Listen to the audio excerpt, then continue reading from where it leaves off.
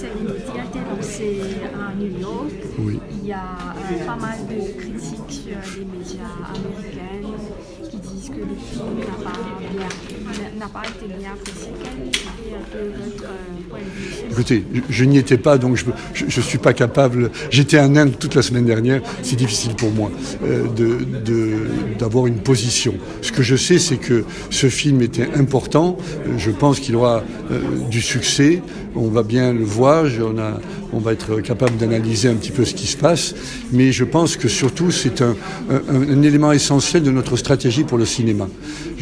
Parce que, euh, au-delà, je dirais, de la perception du public ou des critiques, euh, nous pensons que cette industrie a une bonne valeur pour euh, Maurice. Et comme je l'ai dit, nous avons un certain nombre d'éléments dans la chaîne de valeur, je dirais, de l'industrie du cinéma qu'on voudrait bien mener ici. Je pense que ce sera bien pour les Mauriciens, et pour l'île, et pour l'économie.